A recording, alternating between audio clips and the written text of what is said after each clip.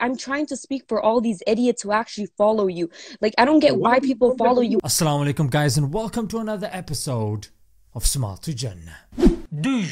to Jannah. I don't know if you guys are aware, but there is a clip that's been going and circulating quite a bit around the Muslim circles. And that clip is to do with an Instagram live that Mufti Menk did with a sister. It's probably one of the most concerning clips that I've seen in a long time. Now, ideally, I wouldn't be discussing it, but she is not the only one that has that sort of approach that I've seen. I see people like that in the comments, DMing me, you know, speaking to other brothers that are in the dawah, and unfortunately, it is somewhat of a growing trend. Let's have a look. I'm trying to speak for all these idiots who actually follow you. Like, I don't get why people follow you when, and you're mixing truth with falsehood. You're literally mixing truth with falsehood. Prophet Sallallahu Alaihi Wasallam said, Yeah, verily I have only been sent to perfect righteous character. If the Prophet Sallallahu Alaihi Wasallam was watching that conversation, would he say yes? Yes, his Aqida's dodgy. Yes, yeah, it's good you spoke to him like that in front of thousands of people that mashallah he has helped come back on the deen. He literally saved them from the hellfire with the permission of Allah. Yeah, go and slam him. Call his people idiots. Yeah, that's it. That's that's gonna help them stay on the deen. They killed 3,000 people, but these are the things you don't see in the news because of deceptive sheikhs like yourself. Well, You I- I come wanna on and blabber, but we see no action. Abu Nu'aym reported that Sufyan al-Thawri rahimahullah said, If a man intended to write down the hadith, he would study good manners and worship for 20 years before doing so.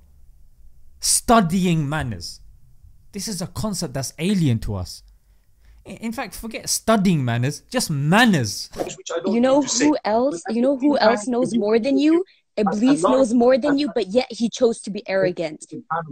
Now, now look at how you're comparing me with Iblis. That goes to show a lot about the fact that Because you're literally, you're literally bragging about your knowledge. You're out here telling me how much knowledge you know. Ibn al-Mubarak rahimahullah said to the people of hadith, You are in greater need of a little manners than a great deal of knowledge. And then he went on to say, I sought manners for 30 years and I sought knowledge for 20 years. The righteous predecessors would seek manners and then seek knowledge. Can I talk? You, I think you had enough time to talk. Malik bin Anas rahimahullah said, Learn good manners before seeking knowledge. And then he goes on to say, My mother would dress me up and say to me, Go to Shaykh Rabi'a and learn from his manners before his knowledge. Like, subhanAllah, don't you fear Allah? Don't you fear Allah? Like, people look up to you and you're setting up a bad example. Umar radiallahu an says, Acquire knowledge and teach people. Alright, cool. Yeah, that's what that's what she was doing. Learn along with it dignity and tranquility and humility for those who teach you and humility for those whom you teach. Alright, guys, before we begin, it's important to establish the area, yeah, the area that a person is in. If a scholar is in the Indo-Pak subcontinent, their dawah, their approach will be different. If a person is in, say, their dawah is based in the, the English speaking nations like US, UK, Canada, their dawah will be different because the issues that they are tackling, the temperaments of the people, the cultures they're tackling are different. And you guys have to realize that here, especially now in the West, I don't think the East is immune from this, but here in the West, it's a free for all. Yeah, you got little girls going around, seven year old girls with pants up to here, up to here. Drugs, standard. Disrespect their parents, standard. Swearing, standard. Sexualization, you know, prostitution, pornography, you name it. That vice is prevalent. In fact, the, the glitter and the glamour of the dunya has become so appealing that many of the people of knowledge find it very difficult to pull the youth back. You had Mufti Menk, who even the non-practicing folk, they wanted to go and listen to him. I am not saying for a second that they are immune from mistakes and they haven't made mistakes. I'm not defending their mistakes. Like I have defended Dr. Zakir Naik, I've defended Mulana Tariq Jamil, I'm defending Mufti Menk, not their stance in matters, but their overall mission. Because there are many people who have started practicing because of these people. If you openly start berating them, number one, it's it shows how narrow-minded and selfish you are. And number two, you haven't understood the religion. Yes, have difference, yeah, ikhtilaf. But the, on the one hand you have ikhtilaf and then you have mukhalifat. Yeah, ikhtilaf is difference of opinion.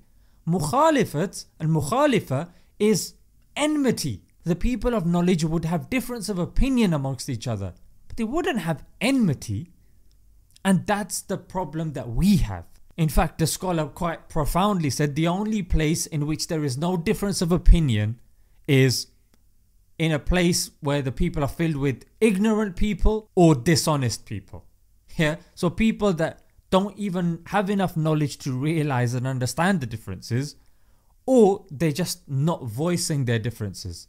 Angels, there's narrations of angels having difference of opinion when coming to uh, retrieve the soul of somebody. There's Prophet Sulaiman alayhi salam, Dawood alayhi salam, who had a difference of opinion. You had Sahaba who had differences of opinion. So these differences of opinion, okay, cool, they exist. I know what you're thinking. Some people say, Yeah, but this is difference of opinion with regards to Aqidah.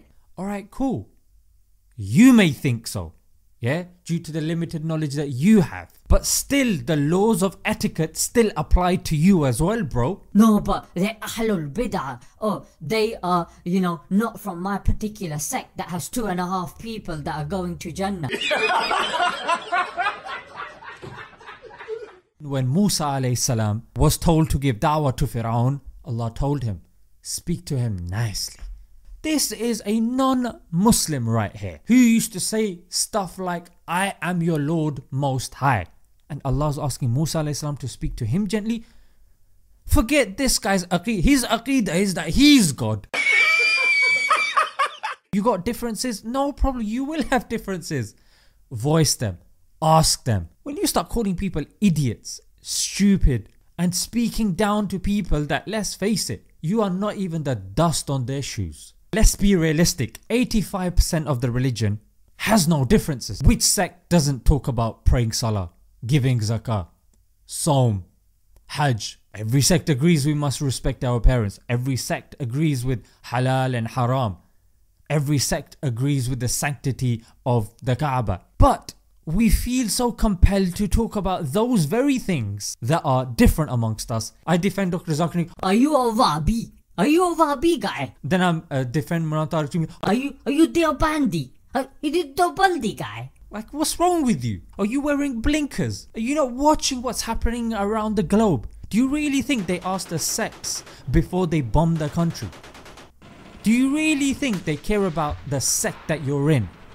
How deluded are you mate? So many people have been put off the deen because of such individuals. They're like flies who just sit on crap. If you are going to your circles and sitting with your ulama and by the end of that gathering if your iman hasn't increased rather your hate for particular individuals within the ummah has increased then don't go to that gathering again. If you are in a group that's based upon hate whether it's hate of sahaba, whether it's hate of the imams, whether it's hate of scholars. No. Something that's based upon hate can never thrive. If somebody's teaching you to hate people and you're out there condemning, Muslim, non-Muslim, Muslim, a kuffar, Wahhabi, a uh, Sufi guy.